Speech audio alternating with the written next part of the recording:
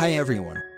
In this video, I'm going to show you how you can block a text message from someone that you don't want to receive text from on your Samsung Galaxy S22 series.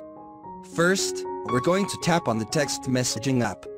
In here, we're going to tap on the text message that you want to block.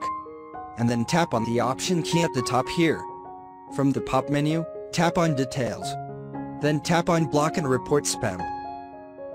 Now if you do not want to report this block as a spam, just uncheck. We put a spam checkbox then tap on OK.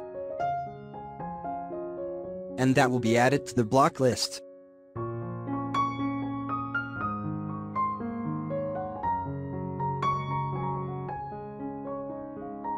In this list, you can see the text message or the contact has been added to the list. We can just simply remove that and then go back. And that will be undone so we have just reversed the action now. My text message is no longer being blocked.